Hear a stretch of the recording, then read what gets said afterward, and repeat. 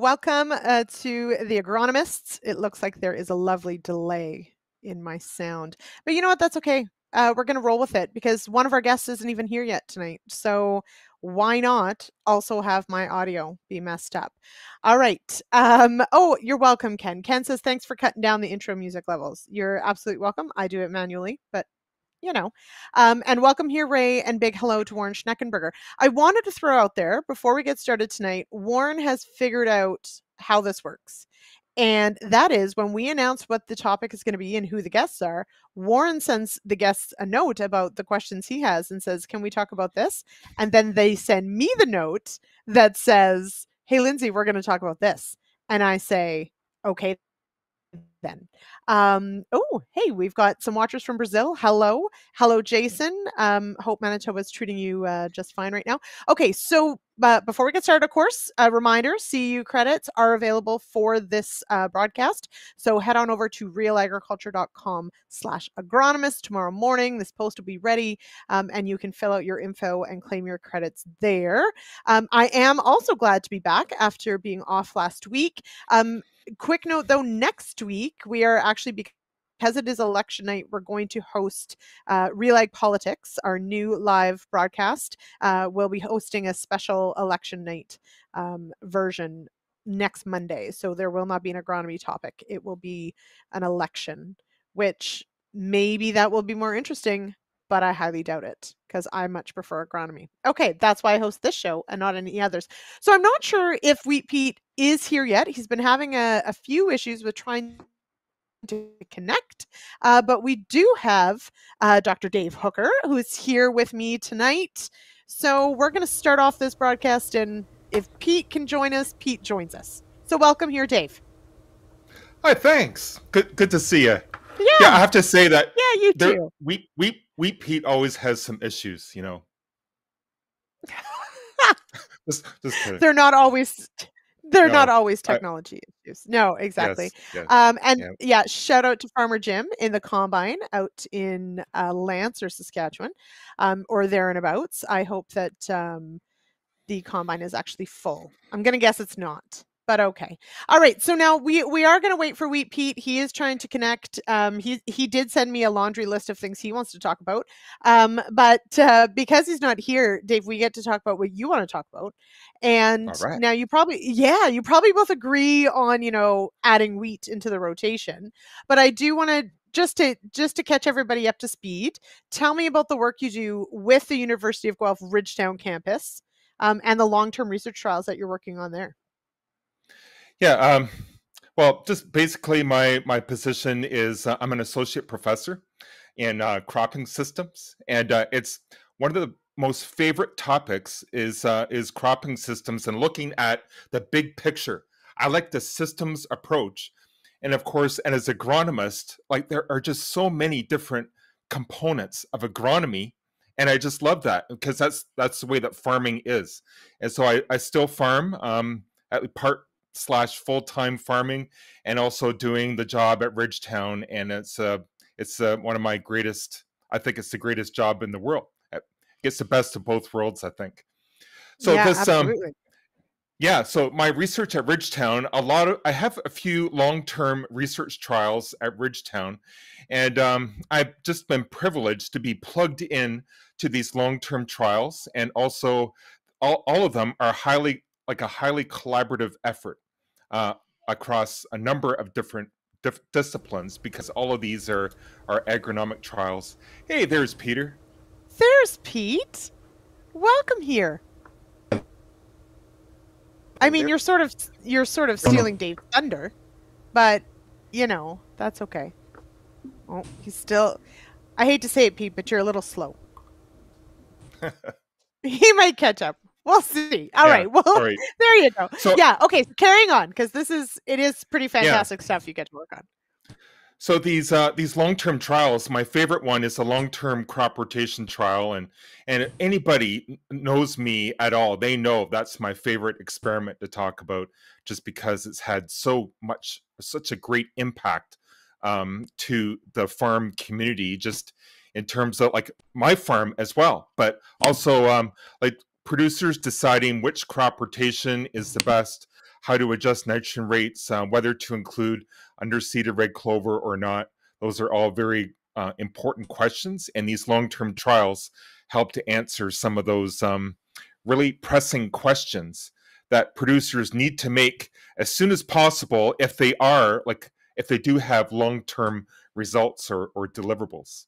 And that's what these so long-term projects are for.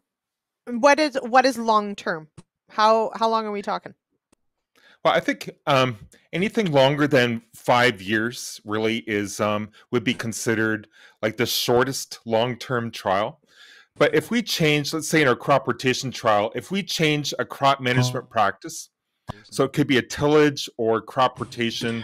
Um, usually it takes about 10 years or so to for that system to equilibrate. And so um, it, would be nice to have a long-term trial like um, with a 10-year result, um, like a synopsis or a milestone after 10 years. But these 20 or 30-year long-term trials, they're very interesting as well. Mm-hmm. And super valuable. That is one of the things I know there are some of those very long term trials out west as well. Um, there's one here in Ottawa.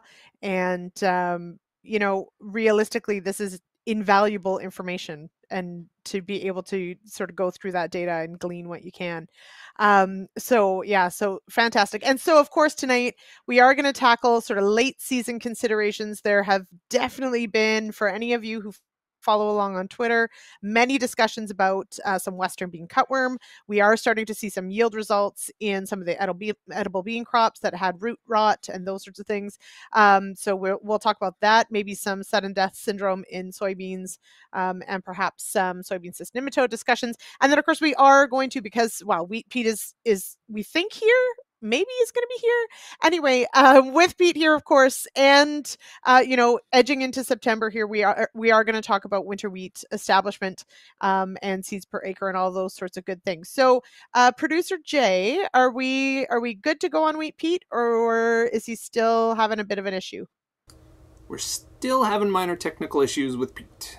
So okay. we're gonna see what's well, happening then, here. We may be well, Pete-less we might be peatless, and that's okay. In the meantime, um, there you go. So Warren, this is one of the questions I did have, uh, did want to talk about, and Warren, thanks for throwing that out there. Stalk rot. So he's saying anthracnose stalk rot, but I am hearing several farmers starting to talk about some some stalk integrity uh, on the corn side yes. this year. So so what are you hearing or seeing or figures going on with that?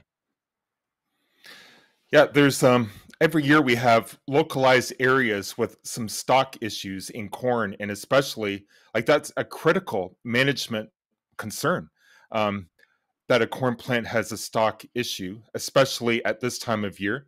Um, we're like at the first half of september and so if a corn crop has or is developing some stalk issues we need to deal with it um, as soon as possible or at least make some uh, plans to make sure that you know that that field is harvested in a very timely manner. Yeah. Now so I do want to. Yeah.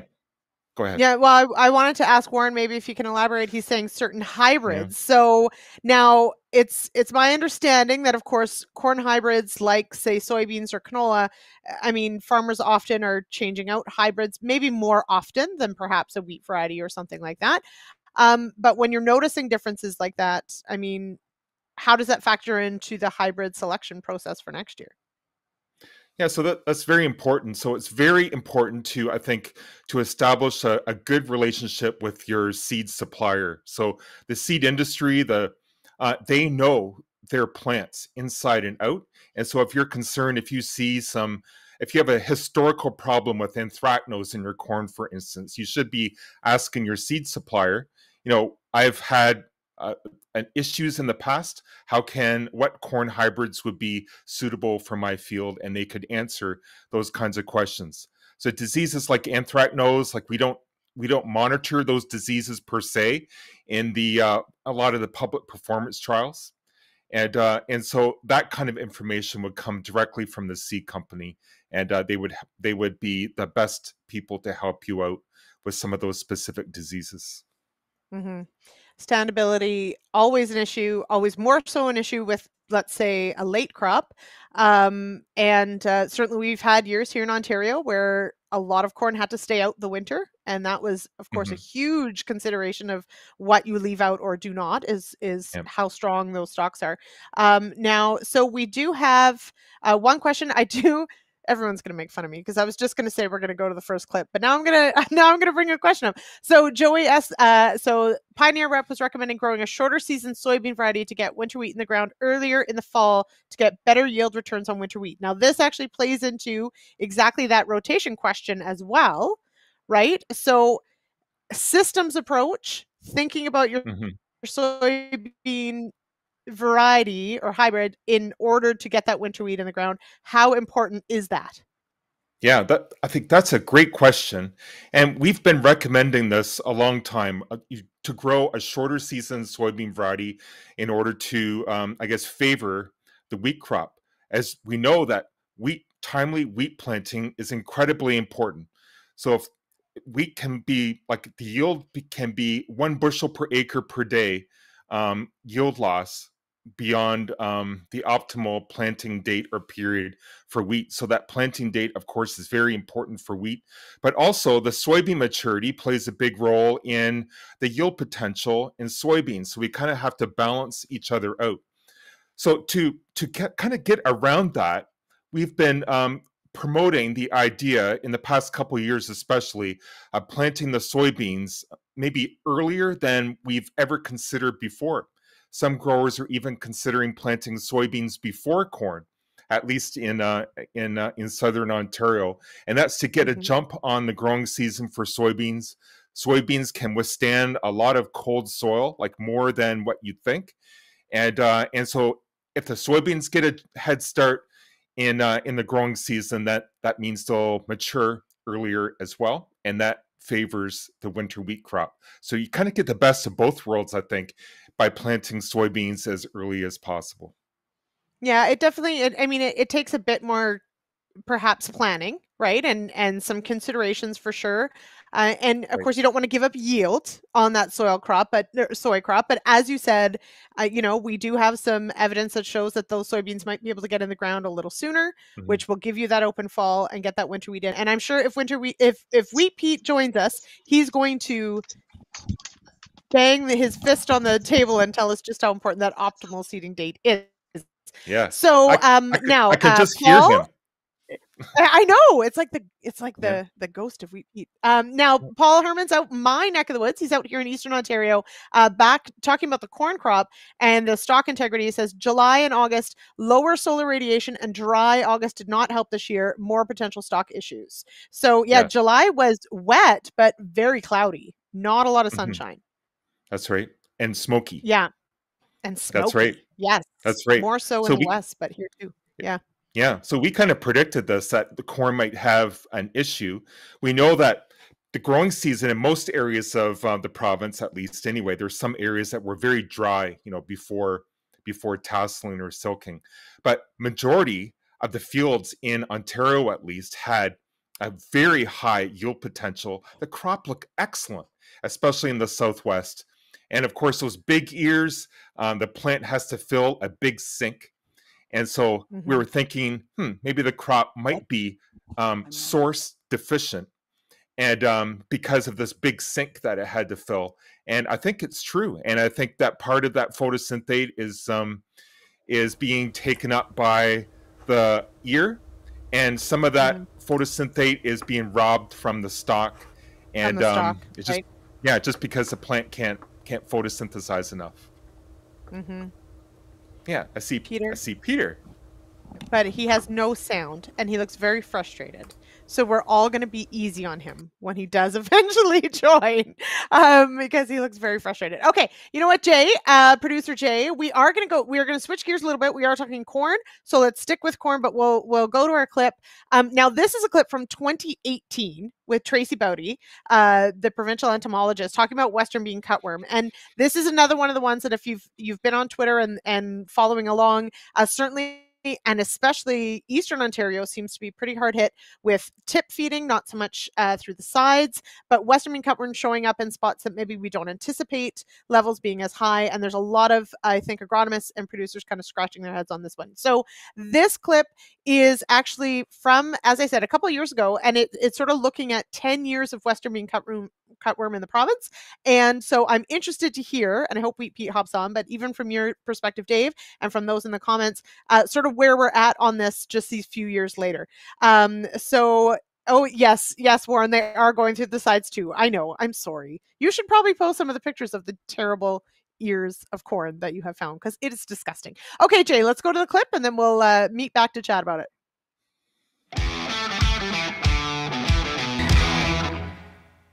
Um, it's uh, apropos today that we're standing next to a uh, Western bean cutworm trap. Um, we want to talk about the fact that, hey, it's 2018. Western bean showed up in this province 10 years ago. And, you know, what we've seen and where we're going. You know, when you look back to 2008, um, you know, what was it like back then, Tracy? You know, where is this, where is this pest gone over that decade? Yep. So it expanded from the Great uh, Plains region. We saw it, we anticipated it coming this way.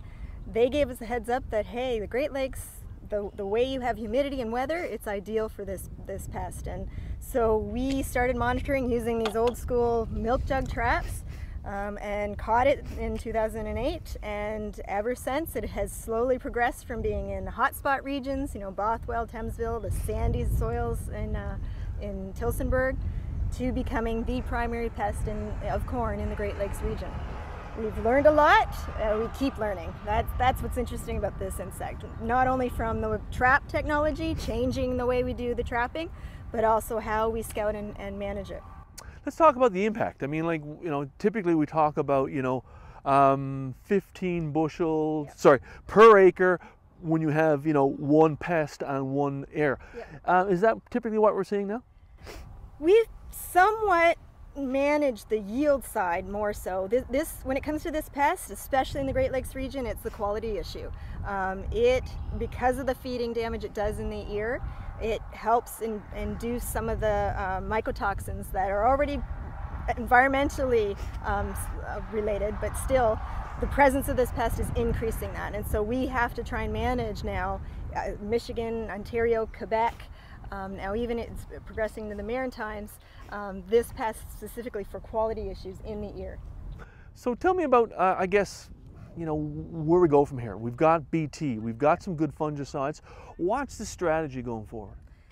Yeah, um, we're improving on monitoring. Uh, first off, having a trap at your field helps you uh, know it, when it's present, when it peaks, and it is it peaks differently in each region. So it's great that we have uh, now over 650 traps last year in the Great Lakes region, so we can see it progressing. Then we know when to go out and scout and look for eggs and management. We have changed our thresholds to include an, accumulative number, of 5% of the plants um, over a two or three week scouting period.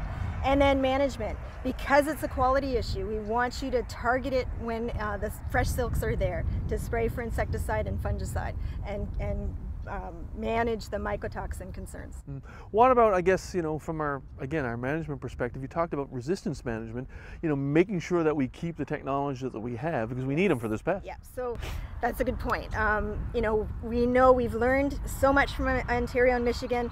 We had to change the thresholds, we had to change the management timings, but we also learned here we had resistance to Cry1F. We confirmed that here. We've confirmed it's a primary pest here. And there's not many other technologies coming down the pipeline for this pest. So we really have to focus now on resistance management, both in terms of, of the VIP BT um, or VIP um, cry that we use, but also the um, insecticides. There's a lot of acres that use one primary um, insecticide, and that is just going to push this insect to resistance. So we really have to focus on rotation.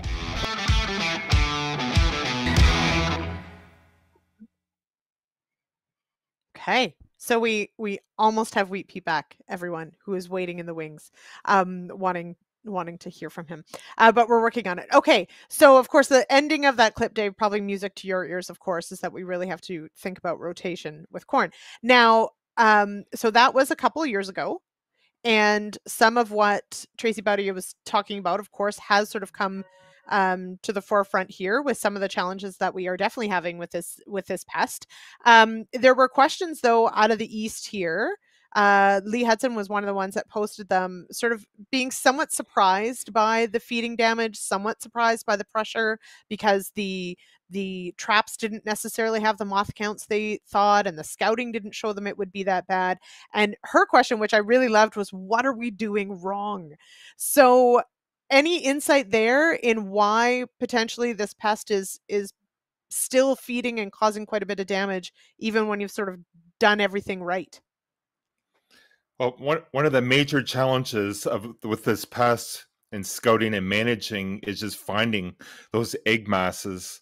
Um, so we can't really, we cannot um, judge the pressure of western bean cutworm in the field by the number of um, moth counts in the trap. And the moth, the trap counts, moths in the traps, they just uh, indicate a peak flight. And so if you have a peak flight, that means that you should be scouting in your field for threshold levels. But it's just that that field management scouting practice that is just full of, um, uh, I guess, frustration, just because it's very easy to miss um, egg mm-hmm. masses. Yeah. Mm-hmm. Absolutely, and um, I, I mean, really, we are seeing certainly a lot of tip feeding.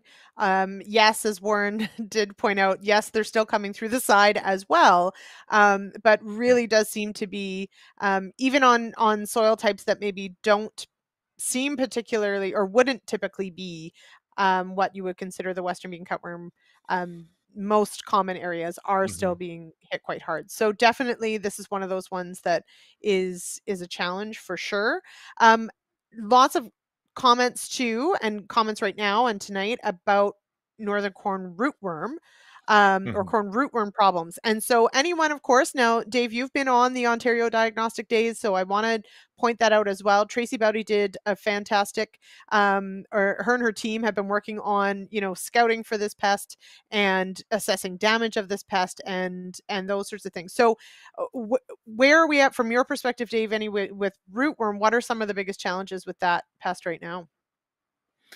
Well, the biggest uh, way to manage the rootworm, of course, is to um, have a good crop rotation. So, corn after corn or continuous corn, that's a big no no or a big high risk uh, situation. But we're most concerned, I think, about um, like corn growers like grow continuous corn for feed. Usually, usually those are livestock mm, producers, yeah. so it's really hard to to get out of that rotation. There are some management practices that maybe alternatives that one should consider. And uh, Christine O'Reilly has and Tracey Baute have talked about some of these alternatives. I, I think on on previous the agronomist episodes, but mm-hmm. um, I think like rotation is important, but we're most concerned about resistance because uh, there aren't mm. many uh, BT proteins coming down the pipeline with different like modes of action in order to control um, the development or the resistant types of um, of corn rootworm. And this is we've already we all we know that some corn rootworm in Ontario there's evidence that it's resistant uh, to the current BT proteins that we have in our hybrids. And they've seen this in the US for the past decade, and Ontario is just really catching up um, to that pressure or to those observations in the US. So, this is our most concern. Greatest concern is that slowly, as those insects are developing resistance, we are losing the ability to control um, corn rootworm in, in, in particular. Mm-hmm. And as you mentioned, you know, this is often the biggest challenge for exactly that for those who are trying to produce feed. So so silage corn. Um, and and so when you mentioned Christine O'Reilly, who's of course the forage specialist, one of the challenges, of course, is trying to find that land base that that you could mm-hmm. potentially mm-hmm. grow your corn on and and maybe have to do a bit of a land swap potentially to that's try right. and get that rotation straightened out right because that's one of the yeah. challenges it's finding that land yeah. that's suitable um yeah. but definitely I, I get the sense and maybe i'm wrong uh, but i get the sense that this i mean you did say that we are sort of catching up um in maybe the wrong kind of way uh but it does feel like it snuck up on us maybe a little quickly yeah it, it that's right and sometimes these things do like weed specialists have warned about uh, herbicide resistant weeds for years and then a lot of growers know about them heard about them but really they don't pay a lot of uh, some of them at least anyway don't pay a lot of attention until it shows up on their farm and then they have to act on it and and um, and manage those herbicide resistant weeds and i think the same thing holds true for um, resistant insects as well and sometimes you don't realize that some populations in the field might be resistant until you see significant damage and then it's too late and those mm-hmm. insect populations like they're going to stay in, in, in, rootworm in particular they will stay resistant and so they would have permanent resistance those populations would have permanent resistance to some of these uh, bt pro- right. proteins in particular and this is also i mean you mentioned herbicide resistance as well herbicide resistant populations of certain weeds.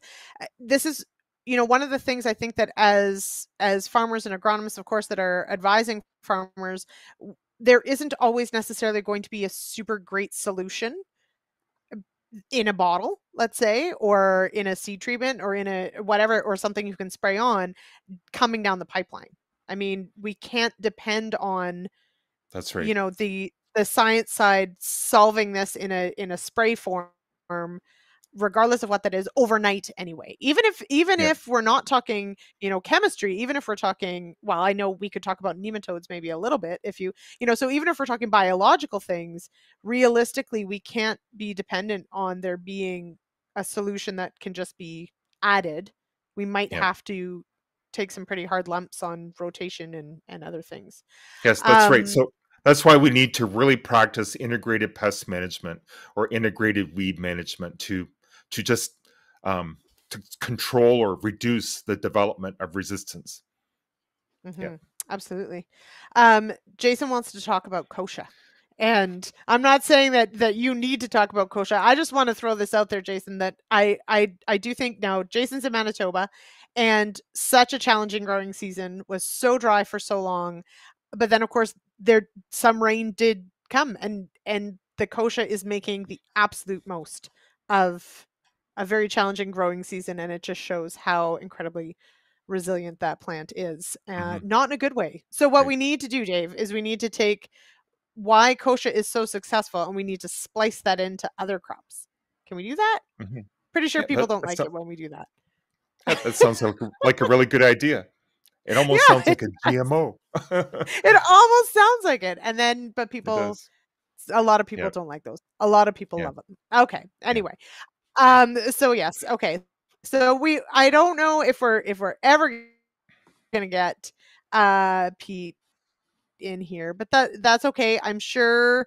Uh, yeah, it looks like it may not work. So I think it's it might just be um you and me here, Dave. And I did I went over to my email, so now I'm gonna freeze for a bit, and and that's okay. I I do have a few things that uh Pete did, of course, want to cover and want to share. You can tell me, yeah, you can tell me things you want to talk about or not. And he'll probably uh, show up in the comments at some point and to tell us we're right or wrong.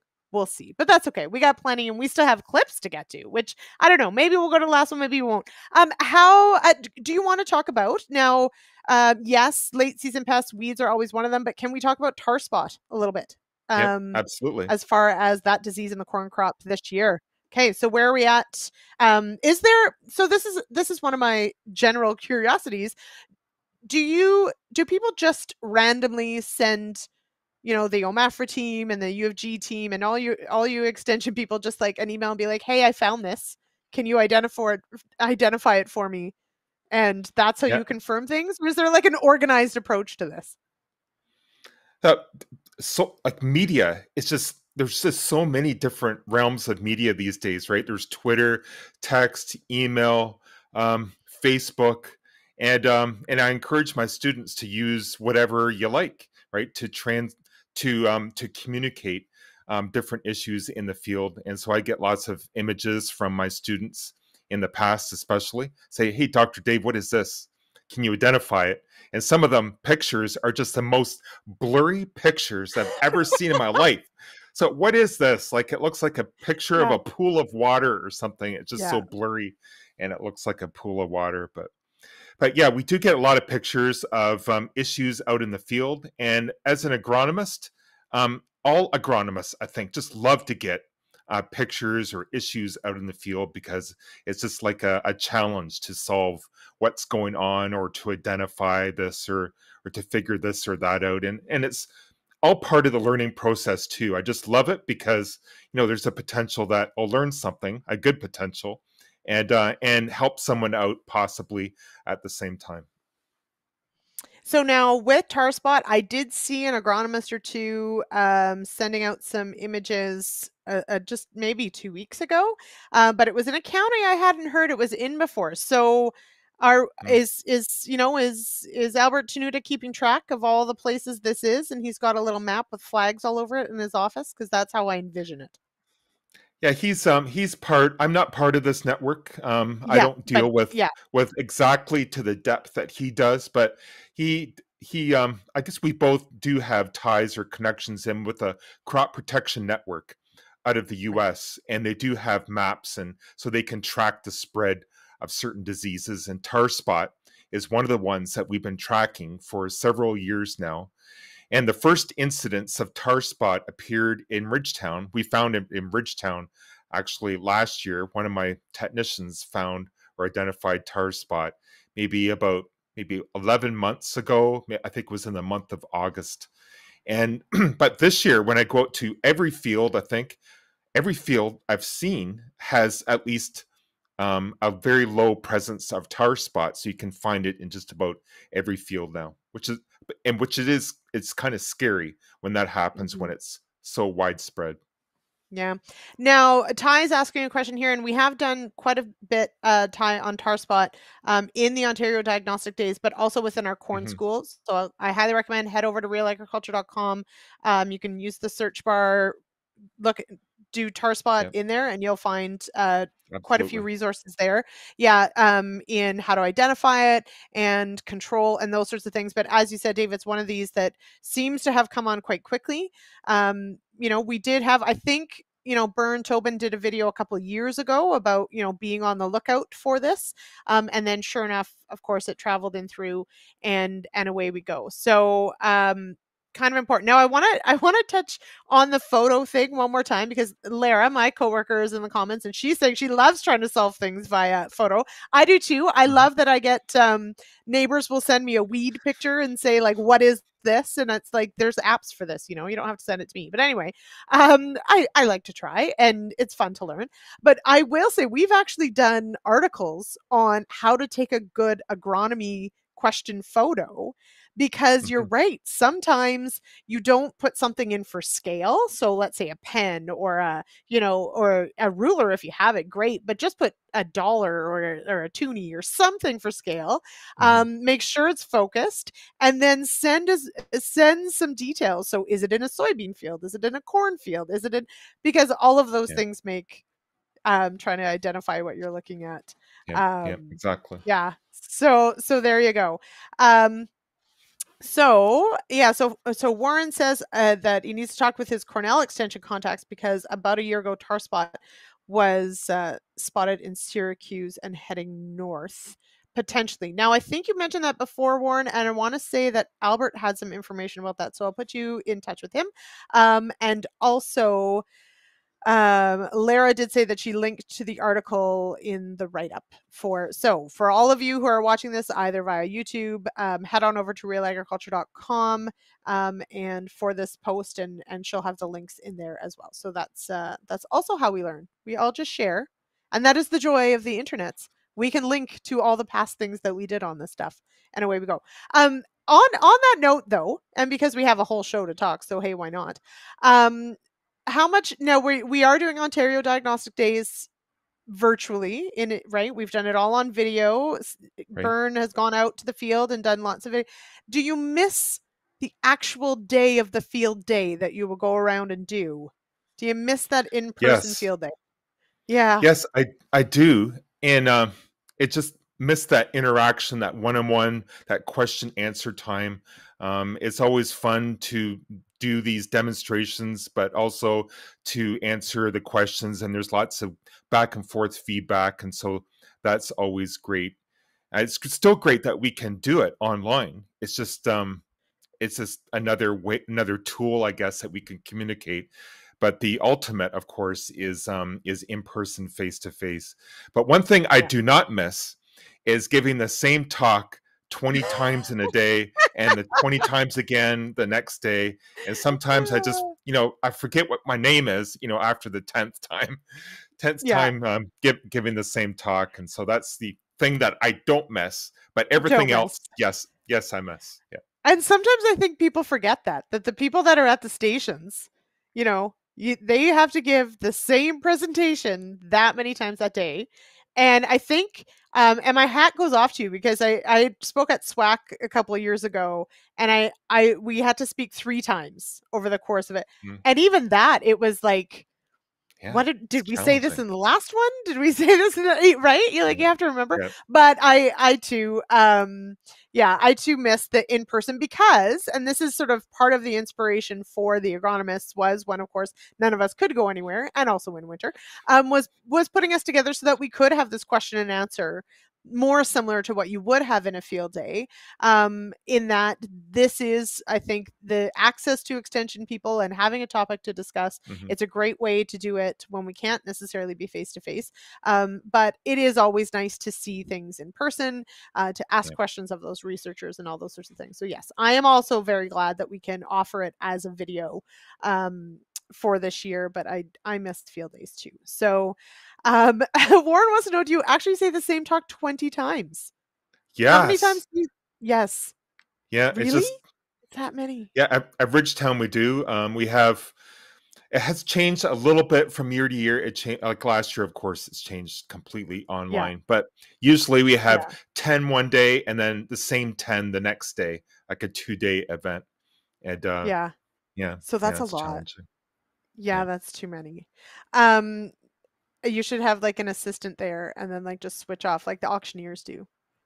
Be like okay you've heard it five times you must know it by now you can just do this. Okay so yeah so uh pete has given up trying to join. We will we'll figure that out for next week but he is here in the chat um so we will for sure um we'll look at some of these questions and and Pete will follow along as well. I'll read them out as well and we'll get to some of them because I do I do want to devote a little bit of time to um, wheat establishment. We of course do talk about it um, in the wheat school and on Wheat Pete's Word every week, but it's always great to ask those questions. And I know he's already getting, as you mentioned, Dave, you know, as the the soybean crop comes off, the the wheat goes in, and because things are a little ahead of schedule, we do have some wheat going in pretty early. So there's definitely some right. questions. Um, so so we will get to that. Actually, so well, if um oh, Paul wants to know, Dave, will there be any tar spot trials next year at Ridgetown? Yeah, actually, yes. Actually, there are tar spot trials this year. Al- oh. Albert has some in comparing fungicides. Okay. All right. But so I also I also want to rate our um, corn hybrids in several OCC locations as well. I'm not I yeah. wouldn't be allowed to publish that data, of course, but I could relay that data back to the seed companies, and that would add to their knowledge as well how their right. hybrids might or might not perform. Right. And actually, that reminds me, Leander Campbell uh, earlier in the chat asked In doing long term research trials, do you always use the same varieties or hybrids? because how do you account for genetic gain over time? Which you can tell right, so, he's a research scientist yeah. too. So it's one of the questions that we have in these long-term trials is that if if the best management practice changes, let's say like through scientific evolution, like should we change let's say a specific treatment or technique or management practice in these long-term trials? And the quick answer is is absolutely yes. We have to keep the trials relevant to the best management practice that are practices that are applied on the farm. And so this goes with the hybrids as well and the soybean varieties and the and the wheat varieties. We want the most popular highest yielding genetics in these trials as possible to keep them relevant to uh, farm fields. And it's also relevant in trend lines as well if we if we select high yielding corn soybean and wheat varieties the most popular ones usually are the most high yielding ones and so we we integrate or i guess e- the varieties evolve in our trials as well okay I I love that too. In that, um, it's a great question, Leander, because it's it's a fabulous sort of you know, how Absolutely. do we best capture sort of rotational benefits and those sorts of things? But exactly that, we want to do what farmers are doing as well as they evolve. The other thing I often think about is, you know, the average farming career, let's say, is is 40 or 50 seasons, let's say. And you mm-hmm. only have that many seasons to continually improve but at some point then it's somebody else's 40 or 50 season so um, at some point you do need a line in the sand to say what have we learned from this five years because if we constantly you know if we kept everything the same for five years well farmers would have moved on to other hybrids or varieties mm-hmm. by then right? Mm-hmm. so um, especially with corn. Yeah. Yeah, yeah, so yeah. super cool. Great question. I love it. Okay. So uh, producer jay um, i'm gonna skip over the soybean um, video right now although he does and we'll run out of time but he does say at the end what does he say? If you don't test oh crumb it was a great quote i'll, I'll look it up while this video is playing but let's play the wheat pete video because pete is now here in the comments and i'm sure he cannot wait for everyone to see this video that is 10 years old no, it's 11 years old. It's from 2010. And the reason I selected this one is because I wanted to know if after 11 years, do do the rules change? And I was very glad to see that when I sent this to Pete, he said, I think I disagree with myself, at least in part. Um, so that's great. So Jay, let's go to the uh yes, there you go. Oh yeah, do the test to beat the pest. It's uh, about soybean cyst nematode. Thanks, Pete. Anyway, okay, let's uh, watch this ancient video on uh, winter wheat establishment, and then we'll chat.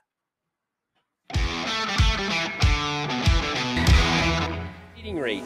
Uh, a lot of farmers think about uh, uh, pounds per acre, but sometimes that's not the most accurate or the most ideal. What, what, what about seeding rates? Yeah, pounds per acre just drives me absolutely insane, Shaun, because it means nothing. Or bushels per acre, two and a half bushels per acre. What the heck is that? if I have 150 pounds of seed and it's 10,000 seeds per pound, that's going to be a whole lot less seed per acre than as if I plant 150 pounds per acre and it's 14,000 seeds per pound. And we get those differences in wheat. In fact, some of the varieties have been as low as 8,000 seeds per pound and some of the other varieties have been up 14,500, almost pushing 15,000. So if all you do is seed seeds, or pardon me, pounds per acre, your seeding rate could vary by as much as 100%. And if you're paying $25 a bag for seed, that means you're either paying far too much because you're overseeding or you're paying not enough because you're not getting enough seeds out there. So every grower in the province really needs to look at, at seeds per acre or seeds per foot of row. I really like to talk seeds per acre because that's an easy way to calculate back and you calculate backwards so you know that that seeding rate is 135 pounds or 165 pounds or whatever the right rate should be. And seeds per acre, on most soils in the province, we would talk about 1.5 million seeds per acre. On the heavy clays, because we don't get quite as good a growth, not quite as good establishment, it's 1.8 million seeds per acre. Many growers really have trouble with that, that whole concept, kind of like they like what is 1.8 million seeds per acre? How do I relate to that? That's really tough. So why are we so stuck? Because this isn't just an Ontario issue. This is an issue across Canada. Why are we so stuck on referring to everything in bushels per acre or pounds per acre in seeding? It's because that was the old way. My dad, when I grew up farming, and I, you know, you'd say, what's the right seeding rate? Dad would say two bushels per acre. No matter the, no matter the moisture conditions, no matter the area, it was that's what he did. It was two bushels per acre because in general terms, right, when, when back when wheat only yielded 50 bushels per acre in 1948, my dad was proud as a peacock because he made the 50 bushel per acre club in wheat. Well, Lord help us. Now I want to hit 150 bushels per acre. I need to be better than two bushels per acre. And two bushels per acre worked not only for wheat, it worked for barley, it worked for oats, it worked for buckwheat. I mean, everything was kind of in that range. And cereal crops are plastic enough that if you don't hit it exactly right, well, it's not the end of the world. So way back in, in olden days, it was okay.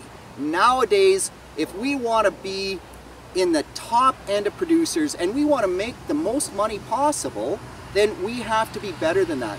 And so you could say, well, if I plant on time, it doesn't matter. Two bushels, two and a half bushels is going to be enough. It really does matter, Shaun, because in Ontario, if you plant on the really early side and you plant too much seed, it gets lots of growth in the fall, you will get snow mold over the winter. And a few years back, we, we got some really good data where we had seeding rate trials planted on the 9th of September.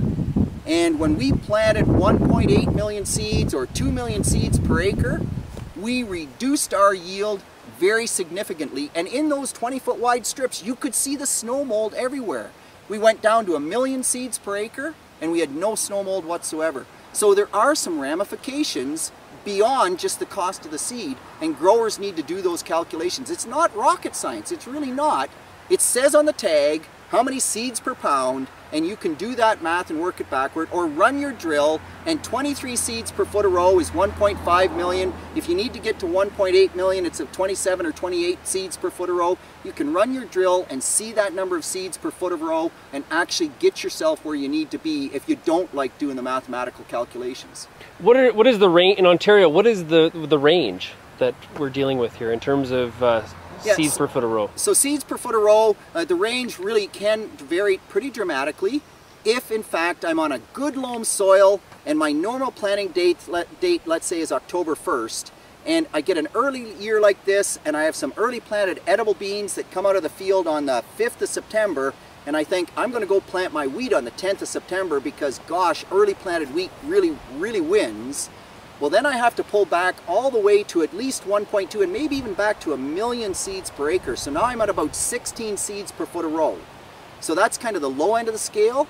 The other end of the scale is when I'm on heavy clay and it's the 1st of November and I want to plant wheat so I'm late, late, late. The soil conditions are far less than perfect and then I really want to run at least 2 million seeds and maybe even 2.3, 2.4, 2.5 million seeds so now, instead of 16 seeds per foot of row, I'm ramping up closer to almost 40 seeds per foot of row. So we can get those ends of the spectrum. Realistically, 90% of the time, somewhere between 23 and 28 seeds per foot of row is, is where you want to be.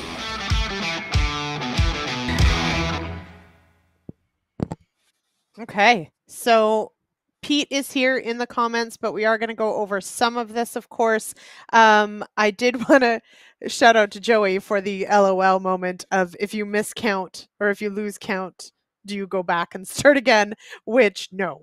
Can you please not do that? Um, okay, so we are talking I, I think again that is an old video and so i love that there's some things to update because i should hope in 10 years we improve of some things.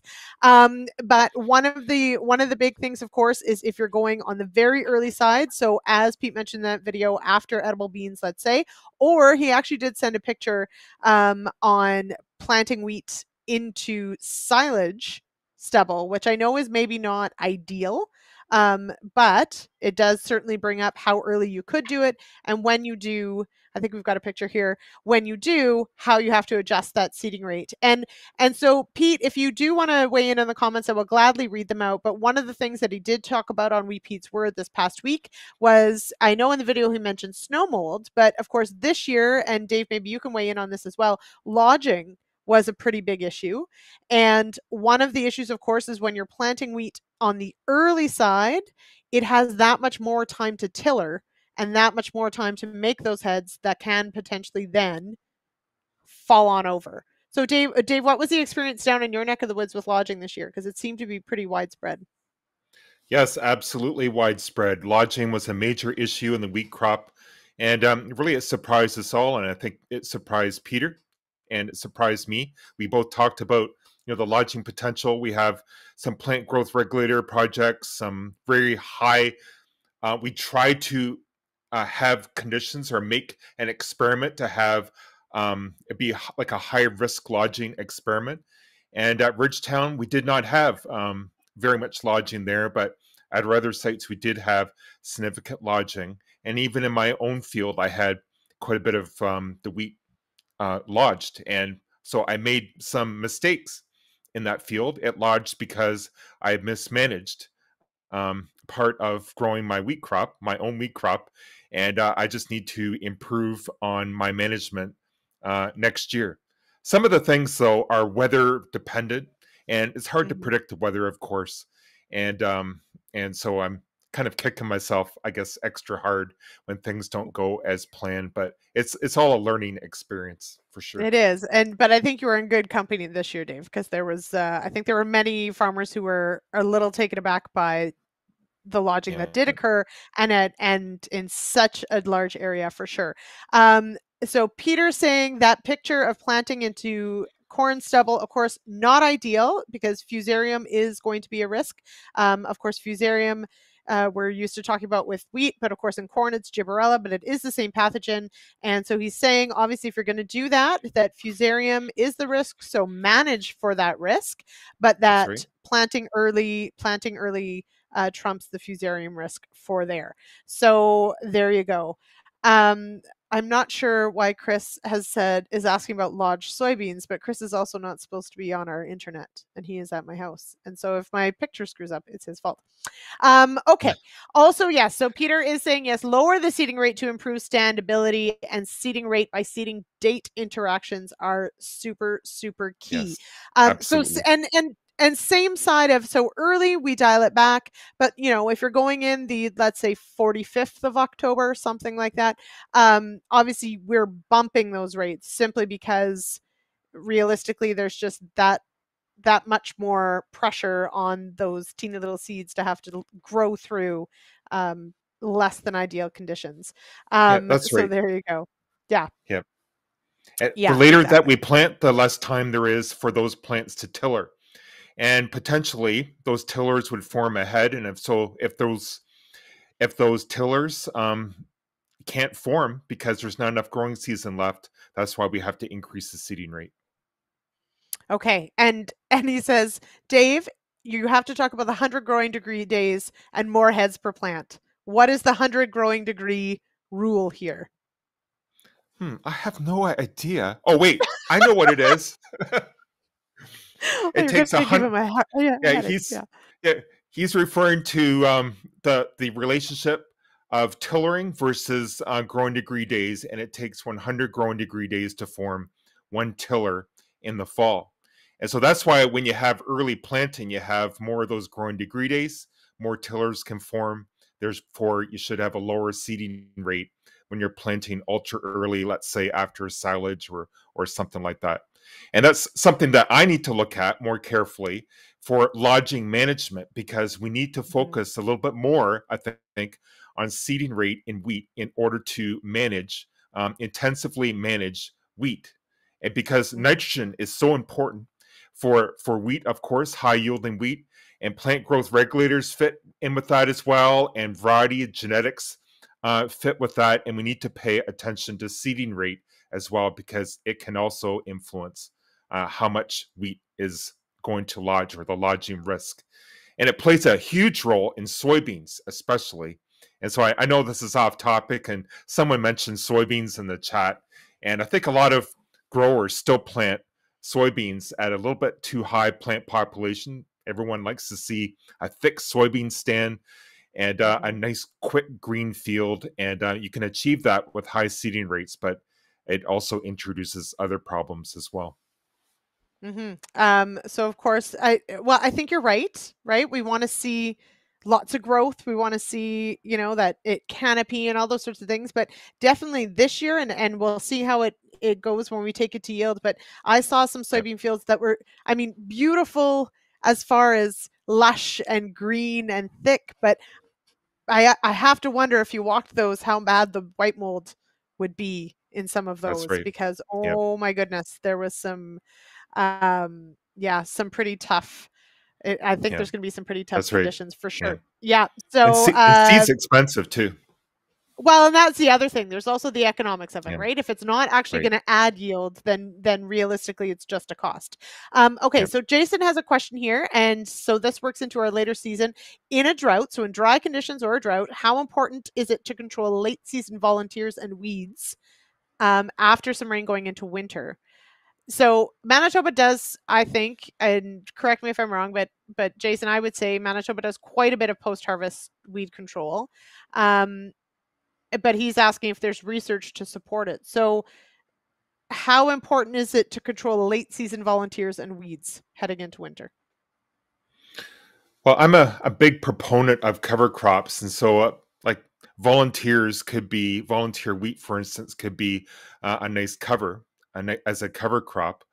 Uh, but also in a dry season area, um, you have to be um, aware that some of those those plants or that canopy could be drawing moisture um, deep from subsoil or reserves um, deep down, and so that could uh, affect uh, future crops as well. And but I think for for weeds, no question, we need to control weeds after harvest because that just contributes to the weed seed bank amongst other issues. And so um, I think weed control um, takes um, utmost precedence, especially for weed seed return. And we talked about herbicide resistance. And if plant plants go into um, if produce plants producing seed, weeds produce seed. That's how resistance is developed, right? If a plant mm-hmm. doesn't produce any seed, um, it resistance won't happen. So uh, mm-hmm. we need so, just to control weeds. Yeah, and and Pete was saying here too, absolutely. If if those are weeds that are going to go to seed, that's the that's the point where you need to do yep. something about it. If if they're yep. right. So as you said, you know, wheat regrowth isn't i mean that's more of a cover that's not really a, a weed that's not going to you know contribute to yeah. the seed bank or anything like that so right. um so it definitely does depend on what uh, you're dealing with my suspicion is for many areas that did get that late rain on the prairies you're going to be dealing with weeds not necessarily just regrowth um simply because those seeds like to germinate when they can and they got that uh they got mm. that moisture. So there you go. Um okay so mr tate had i think we mentioned it briefly but let's just touch on this.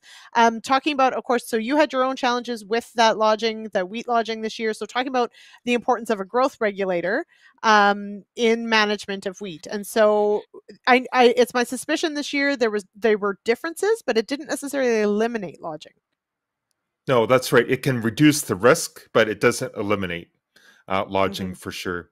So sometimes the lodging potential could be so great that it would just overwhelm the plant growth regulator. It might improve or reduce lodging a little bit, um, but sometimes the wheat is just so susceptible to lodging. Uh, a plant ro- growth regulator um, doesn't always um, solve the problem. So mm-hmm. it, again, it requires an integrated approach. Mm-hmm. Lodging management. Okay, and yeah, now we didn't run of course. So we didn't run the soybean video, the soybean clip I wanted to run, um, but uh, it did talk about, of course, sudden death syndrome and also soybean cyst nematode, and so why it's really important to test your soil at the end of the season uh, to get those counts on the soybean cyst nematode, because of course um, they've had whatever is there, it gives you a good uh, indication. Um, but it Tate, uh, Mr. Tate has a question here about spider mites. So um, I know that there were aphid, there was aphid pressure earlier in the year on soybeans. Um, late season spider mites, do we really need to worry about economic damage from them, or is it just gross? Because I think they're gross. Well, spider mites can destroy a soybean crop, especially if they um, infest the soybeans early in development, or or early in development. I'm saying in the R stages. Uh, so in the early R mm-hmm. stages, and so if there are spider mites at say R six, uh, we know that, of course, um, it won't affect the soybean yield uh, that much. But it's very it's it's extremely important to be aware of spider mite issues, especially in the early R stages. Yeah. Okay. Um, Yes. And so, and Peter says, as a caution, of course, also watch your pre-harvest interval. Um, you can't yeah, spray R six or later. And, and that is, of course, one of those things that um, everyone has to keep in mind, especially this year. It, it did seem to be sort of interesting that it was just such an insect year and shaped up to be that we did see some insect pressure later in the year. But that is definitely one of the things we have to think about is um, uh, we also had, of course, reports of armyworm uh, in the southwest had come through, and and we're certainly taking uh, taking a bite out of some some oak crop and some uh, some of the forage crops down there. So again, though, you do have to keep that pre-harvest interval in mind if you are going to go in with any sort of control.